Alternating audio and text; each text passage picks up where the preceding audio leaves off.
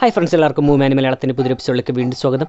ജോഷിയുടെ സംവിധാനത്തിൽ സുരേഷ് ഗോപി നായകനായി തിയേറ്ററിൽ വൻ വിജയമായി മാറിയ പാപ്പൻ എന്ന സിനിമ കണ്ടതിന് ശേഷം എനിക്ക് അതിൽ നിന്നും കണ്ടെത്താൻ സാധിച്ചിട്ടുള്ള കുറച്ച് കാര്യങ്ങളാണ് ഇന്നത്തെ എപ്പിസോഡിലൂടെ ഞാൻ നിങ്ങളായിട്ട് ഷെയർ ചെയ്യാൻ പോകുന്നത്. വീഡിയോയിലേക്ക് കിടക്കുന്നതിന് മുമ്പ് സി ഫൈവിലൂടെ ഒ ടി ടി റിലീസ് ചെയ്തിട്ടുള്ള ഈ ചിത്രം നിങ്ങൾ കണ്ടിട്ടുണ്ടെന്ന് ഉറപ്പുവരുത്താൻ ശ്രമിക്കുക. കണ്ടതിന് ശേഷം മാത്രം ഈ വീഡിയോ കാണാൻ ശ്രമിക്കുക. അല്ലെങ്കിൽ പറയാൻ പോകുന്ന കാര്യങ്ങളെല്ലാം തന്നെ നിങ്ങൾക്ക് സ്പോയിലർ ആയിരിക്കും.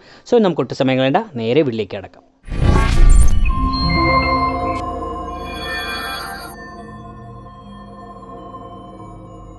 ചാക്കോ നടത്തിയ കൊലപാതകങ്ങളിലെല്ലാം ഇരകളെ തലക്കടിച്ചും നെഞ്ചിൽ കത്തികുത്തിയുമാണ് കൊല്ലുന്നത്. എന്നാൽ ഷീർലിയും സോളമനും ചേർന്ന് നടത്തിയ കൊലപാതകങ്ങളിൽ ഇതുകൂടാതെ ഇരകളുടെ ജെനിറ്റൽ സ്ഥലി തകർക്കുന്നുമുണ്ട്. ഇതിന് കാരണം ചാക്കോയ്ക്ക് അവരോടൊന്നും വ്യക്തിപരമായ വിരോധമൊന്നും ഇല്ലെങ്കിലും ഷേർലിയും സൈമണുമായിട്ടുള്ള പ്രണയത്തിന് ഇവർ എതിരെ നിന്ന് സൈമണിനെ കൊന്നതിന്റെ വ്യക്തിപരമായ പ്രതികാരമുള്ളതുകൊണ്ട് കൂടിയാണ് ഷേർലിയും സോളമനും ഇവരെ കൊല്ലുന്ന സമയം ഇവരുടെ ജെനിറ്റൽസ് കൂടി തകർക്കാൻ ശ്രമിക്കുന്നത്. സിനിമയിൽ എട്ട് എന്ന അക്കം പല ഭാഗത്തും യൂസ് ചെയ്തിട്ടുണ്ട്. ഇരുപത്തിയാറ് എട്ട് എന്ന ഡേറ്റിലും ചാക്കോ അമ്മയെ വിളിക്കുന്ന എട്ട് മണി എന്ന സമയത്തിലുമെല്ലാം ഈ അക്കം നമുക്ക് കാണാം. എന്നാൽ ഇതുകൂടാതെ ദ്രൗപദി എന്ന ആ എഴുത്തുകാരിയുടെ പ്രോഗ്രാം വെച്ചിരിക്കുന്നതും ഇങ്ങനെ ഒരു ഫെബ്രുവരി മാസം എട്ടാം തീയതിയാണെന്ന് കാണാം.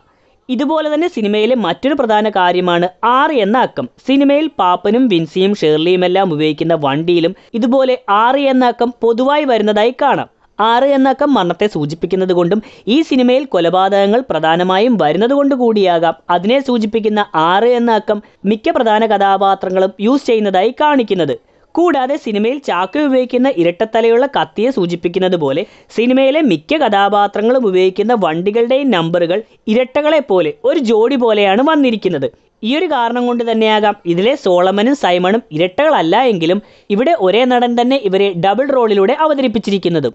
സിദ്ധാർത്ഥനെ അവതരിപ്പിക്കുന്ന ഡാൻസിൽ സീസറിനെയും ക്ലിയോപാട്രയും പറ്റി പറയുന്നുണ്ട്. അതിൽ ക്ലിയോപാട്ര ഒരേ സമയം കാമുകിയും കൊലയാളിയുമായി മാറിയെന്നും പറഞ്ഞിട്ടുണ്ട്. സോ ഈയൊരു കാര്യം സിനിമയിൽ വില്ലത്തിയായി വരുന്ന ആശാശരത്തിന്റെ കഥാപാത്രത്തിനോടാണ് ഉപമിച്ചിരിക്കുന്നത്. കാരണം ഷേർലി എന്ന കഥാപാത്രം സിനിമയിൽ ഈ പറഞ്ഞതുപോലെ തന്നെ കാമുകിയായും കൊലയാളിയായും വരുന്നതായി കാണാം. സിനിമയിൽ ഏറ്റവും ഇമ്പോർട്ടന്റ് ഡീറ്റെയിലായി എനിക്ക് തോന്നിയത് സോമൻ എന്ന ടിനിറ്റോം കഥാപാത്രത്തിന്റെ മരണ സീനാണ് ആ സമയം സോമൻ കാറിന്റെ അകത്തുള്ള ആളെ കണ്ട് ഭയന്ന് വീഴുന്നതായി മാത്രമാണ് നമ്മളെ കാണിക്കുന്നത്. ആരാണ് ആ കാറിലിരുന്നതെന്ന് എടുത്തൊന്നും നമ്മളെ കാണിച്ചിട്ടില്ല. എങ്കിലും സോമൻ ആ കാറിലിരുന്ന് ബഹളം വെക്കുന്ന സമയം പുറകിലത്തെ കാറിന്റെ മിററിൽ കൂടി സോളമൻ എന്ന് തോന്നിക്കുന്ന ഒരു വ്യക്തിയുടെ മുഖം നമുക്ക് കാണാൻ സാധിക്കുന്നുണ്ട്. ഇതിനോട് കണക്ട് ചെയ്യുന്ന മറ്റൊരു ഡീറ്റെയിൽ ഷേർലിയും സോളമനും ചേർന്ന് കൊല്ലുന്ന മൂന്ന് കഥാപാത്രങ്ങളും മരിക്കുന്നതിന് മുന്നേ ഹാർട്ട് അറ്റാക്ക് വന്നുവെന്ന് പറയുന്നുണ്ട്. സോമനെ കൊല്ലുന്ന സമയം കാറിൽ ഉപയോഗിച്ച വിഷവാതകം ഇതിനൊരു കാരണമാകുന്നുണ്ടെങ്കിലും അതിലും പ്രധാനമായി എനിക്ക് തോന്നിയത് സോമൻ സോളമനെ കാറിൽ കണ്ടതുപോലെ മറ്റു രണ്ടുപേരും മരിക്കുന്നതിന് മുന്നേ സോളമനെ കണ്ടിരിക്കാം. ഇവർ കാരണം മരണപ്പെട്ടുപോയ സൈമണിന്റെ അതേ മുഖം തന്നെ സോളമനും ഉള്ളതുകൊണ്ട് അത് കണ്ട് മരണപ്പെട്ടുപോയ സൈമൺ തിരിച്ചു വന്നുവെന്നുള്ള ഇവരുടെ ഭയം കൊണ്ടാകാം ഇവർക്കിങ്ങനെ ഹാർട്ട് അറ്റാക്ക് വരുന്നത്. വിൻസി പാപ്പന്റെ മുറിയിൽ വരുമ്പോൾ അവിടെ പല വിധത്തിലുള്ള കത്തികൾ ഇരിക്കുന്നതായി കാണിക്കുന്നുണ്ട്. ഇതുകൂടാതെ ഇതിനു മുന്നേ വിൻസി ആ മുറിയെല്ലാം ഒന്ന് ഓടിച്ചു നോക്കുമ്പോൾ അവിടെ ഇതുപോലെ ചാക്കോ ഉപയോഗിക്കുന്ന കത്തിയെക്കുറിച്ചറിയാൻ പാപ്പൻ പല വിധത്തിലുള്ള കത്തികളുടെ ചിത്രങ്ങളും സൂക്ഷിച്ചിരിക്കുന്നതായി കാണാം. കൂടാതെ അവിടെ തന്നെ കുറെ കില്ലർമാരുടെ വാർത്തകളും കൊടുത്തിട്ടുണ്ട്. ഇതിൽ മിക്കതും ചാക്കോ കത്തി ഉപയോഗിച്ച് കുത്തി കൊല്ലുന്നത് പോലെ തന്നെ കൊലപാതകങ്ങൾ നടത്തുന്നവരുടെ വാർത്തകളാണ്.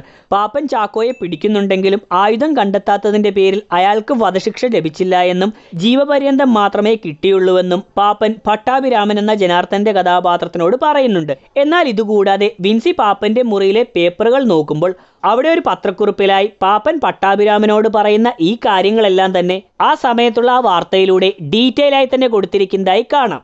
സൈമണിന്റെയും ബെനീറ്റയുടെയും കഥ കാണിക്കുമ്പോൾ സൈമന്റെ അപ്പനെ ആ നാട്ടിൽ വന്ന് താമസിക്കുന്ന ആളുകളെ അടക്കം ചെയ്യുന്ന രണ്ടാമത്തെ സെമിത്തേരിയിൽ അടക്കം ചെയ്യുന്നതിനെ ചൊല്ലി തർക്കമുണ്ടായെന്നും പിന്നീട് അവിടെ തന്നെ അടക്കിയെന്നും പറയുന്നുണ്ട്. ഇതിനുശേഷം സിനിമയുടെ എൻഡിങ്ങിൽ സോളമൻ മരണപ്പെട്ടു വീഴുന്നതും ഇങ്ങനെ അവിടെ വന്ന് താമസിക്കുന്നവർക്കുള്ള അതേ സെമിത്തേരിയുടെ ഭാഗത്ത് തന്നെയാണെന്ന് പെർഫെക്റ്റ് ആയി തന്നെ കാണിച്ചിട്ടുണ്ട്. എഴുത്തുകാരിയുടെ ഭർത്താവിന്റെ വീഡിയോ വിൻസി കാണുമ്പോൾ അവിടെയുള്ള ഒരു ചിത്രം കണ്ടുകൊണ്ട് അത് സിദ്ധാർത്ഥിന്റെ ആ ഡാൻസ് ക്ലബിലുള്ള ചിത്രമാണെന്ന് വിൻസി പെട്ടെന്ന് മനസ്സിലാക്കുന്നുണ്ട്. പിന്നീട് ആ ചിത്രത്തിന്റെ അടുത്തു നിന്നും അയാളെ വിൻസി കണ്ടെത്തുകയും ചെയ്യുന്നു.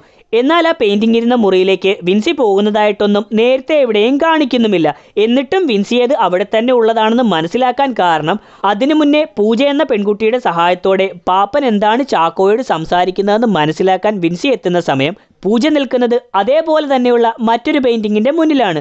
സോ ഇതുകൊണ്ടാകാം വിൻസിക്ക് ആ പെയിന്റിങ് കണ്ടപ്പോൾ അത് അവിടെ തന്നെ ഉള്ളതാണെന്ന് പെട്ടെന്ന് മനസ്സിലാക്കാൻ സാധിച്ചത്. സോ ദാറ്റ്സ് ഇറ്റ് ഇത്രയുമാണ് എനിക്ക് ഈ വീഡിയോയിലൂടെ പറയാനുള്ളത്. വീഡിയോ നിങ്ങൾക്ക് ഇഷ്ടമായിട്ടുണ്ടെന്നായിരുന്നു ഇഷ്ടമായിട്ടുണ്ടെങ്കിൽ പ്ലീസ് ലൈക്ക് ചെയ്യുക ഷെയർ ചെയ്യുക സബ്സ്ക്രൈബ് ചെയ്യുക. ഈ വീഡിയോ നിങ്ങളുടെ അഭിപ്രായങ്ങളും ഈ സിനിമ കണ്ടതിന് ശേഷം നിങ്ങൾക്ക് നടത്താൻ സാധിച്ചിട്ടുള്ള കാര്യങ്ങളും ഈ വീഡിയോയുടെ കമന്റ് സെക്ഷനിൽ ഉൾപ്പെടുത്തുക. അടുത്ത എപ്പിസോഡിൽ കുറച്ച് സിനിമാ വിശേഷങ്ങളും കൂടുതൽ അറിവുകളുമായിട്ട് വീണ്ടും കണ്ടുമുട്ടണം വരെ ബൈ